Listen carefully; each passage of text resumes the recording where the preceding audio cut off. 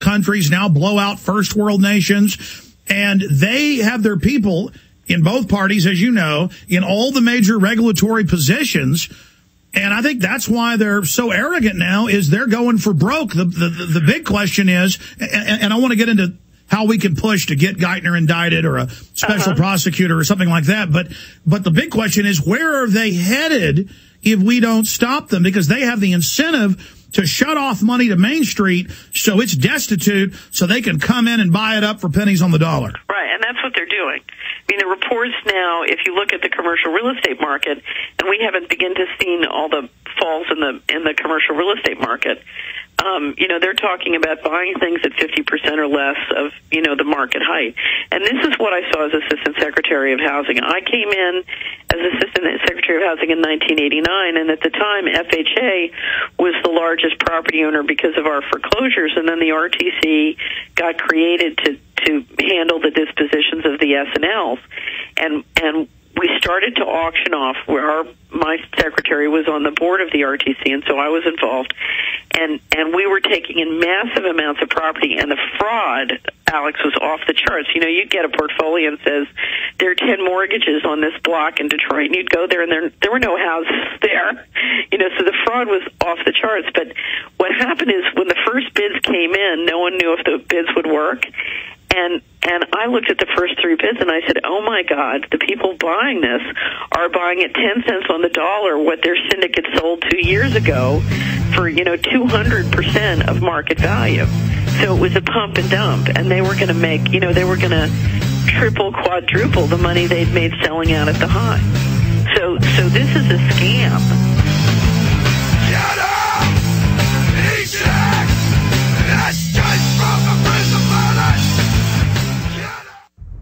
Hello, this is Alex Jones with some important questions. If you're going into a battle and they give you a rifle and a sidearm, how much ammunition do you want? My answer would be all I can get. In the battle for freedom and the lives of your loved ones, food is your only ammunition. How much do you want? When do you want it? Now or after the battle starts? When will you need it? Can you buy it without proper identification? Will there be any food? Will it make your children sick? If there's a quarantine and you can't feed yourself, will you go to the gathering center and be immunized? You wipe out all these problems if you have a good food supply. Food is your ammunition to fight for your freedom and your life. How much will you need? We don't know. How much do you want? All you can get. I'm Alex Jones. I want all of you good guys to live to fight another day. Call 1-800-409-5633 or check it out on the web at efoodsdirect.com. Again, that number, 1-800-409-5633.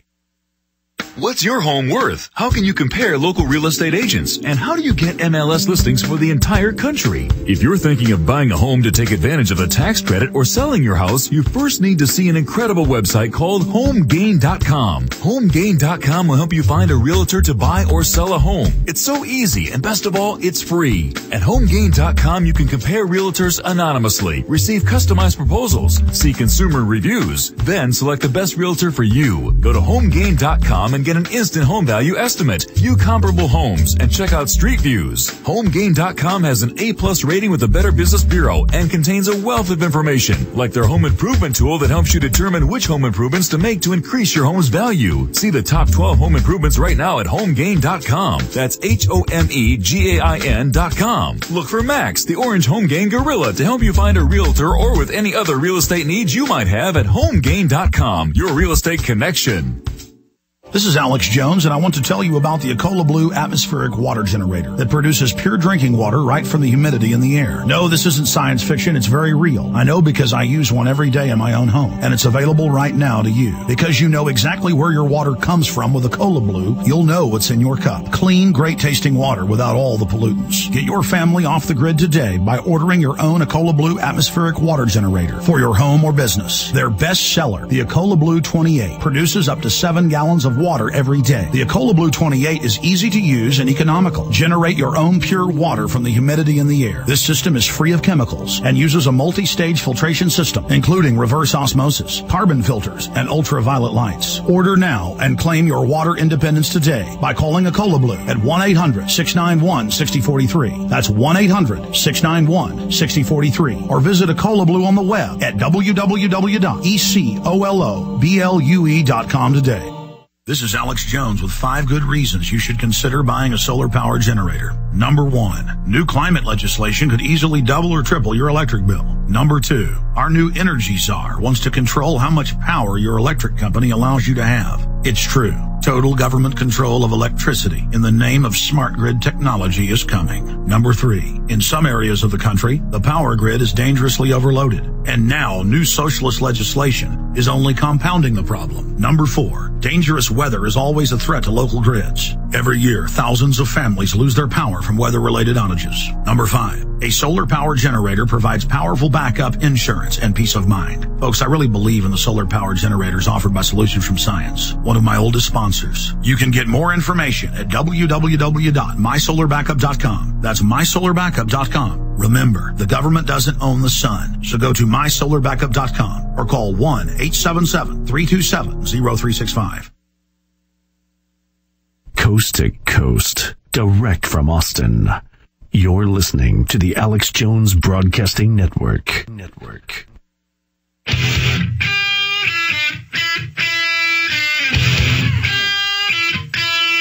Obviously, ladies and gentlemen,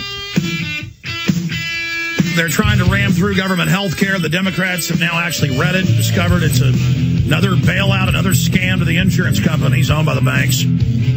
I want to get uh, Catherine Austin Fitts' take on that. Also, uh, they're now reporting hundreds of thousands dead in Haiti from the earthquake. Hundreds of thousands dead. I mean, they're talking about all Americans being naked body scanned and recorded, all courthouses having naked body scanners. They're going in all over the country. I found out two years ago, year and a half ago, Denver already had it. I'm kind of all over the map here. It's just crazy. Earthquakes kill hundreds of thousands, but we've all got to go through naked body scanners because somebody might blow an airplane up. Oh, men and women are fighting in uh, France. 150 plus people kill each other a year. Well, let's let's ban arguing or ban marriage outright. You know, that's the mindset of these tyrants and how they're selling us on tyranny. They could care less about you and your safety. I've got a law enforcement article here where SWAT says options for multiple shooter tactics says we've got to get rid of posse comitatus and put the army on the streets. Catherine, I'm all over the map here. It's just no, no, no, no. You know, because you're dealing. You, you know, you see the. It's like the Pillsbury Doughboy. You squeeze one place, it pops out another, and what you're seeing is the lockdown across the board, and it's you know it's coming in on in every direction, and you know whether it's the economic insanity and sort of the two class system, or it's the uh, you know what they're what they're doing is they're rolling out all sorts of different controls because they know when people figure out that our retirement system has been basically moved offshore and now there's nothing to you know to keep the commitments people are going to get upset. And and by that time they plan to have the food system and and the healthcare system and all these different systems under lockdown. Um, to me one of the scariest ones you haven't brought up yet alex is the idea of sending over a million Americans around to collect all sorts of data on all of us. I'm sure you've had. Have you ever had Edwin Black on the show to to describe how the Nazis put together their original uh, databases? Yes, he wrote the book on uh, IBM, Right. and, and and yes, the census people are now telling people to tell them about their stocks and bonds and uh, what type of uh, toilet they have. And now TSA is just downloading a large percentage of people's computers without warrants and just saying we're keeping it. I mean, it's just wall to wall evil. Meanwhile, Geithner and others, who is most to blame in the crime, in the criminal acts from your expert view? How do we get uh, Geithner indicted? I mean, there's open talk of it happening. Okay, well, he, here, you know, I think I think lots of pressure brought on. You know, this is a time when calls to Congress can make it very, and calls to the White House can make it very uncomfortable for the for the White House to not make a change here. But at the heart of this matter, if you really want to make a significant shift, what we're going to have to do is is work at the state and local level. And let me describe why. Have you seen the governor of Arizona's State of the State address yet? Uh, no, I haven't. Okay, it's fabulous. She just came out and she said, and this was on health care. She said there are 14 attorney generals around the country, state attorney generals, now working together to prepare, you know, real 10th Amendment arguments to stop the implementation of this health care reform. And if my attorney general won't join them, I will. wow. Right. And where this is all going to come down, it's going to come down to 10th Amendment and, and where we can get a governor, an attorney general, and a majority of the sheriffs in a jurisdiction. Because you know, Alex, the sheriff is the most powerful. Uh, you know, I mean, the the sheriff elected representative in the more county, powerful than the military. Yes. So, you know, but where we can align the Attorney General, the Governor, and the majority of the sheriffs in a jurisdiction, that's what's going to happen because the only thing that's going to stop this is when you say no. And, and when, when they say that, when they declare the 10th Amendment, that's when we're going to have to have an argument about the cash flows.